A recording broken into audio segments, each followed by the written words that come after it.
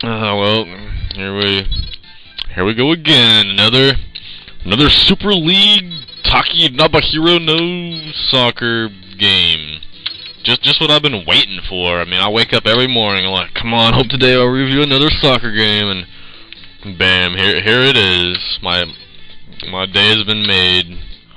So this is boot this ma- Oh god, look at this beautiful, handcrafted field, and man, look at the layout of this. It's like, look, oh my, look at that little 3D camera zoom in. This is like real soccer almost. Which guy am, okay. I'm that little blonde-haired boy. Oh, whoa, whoa, whoa, whoa. The hell was that? It's like some, the boy kicked the ball in the air and kicked it into my goal and like sliding onto his knees.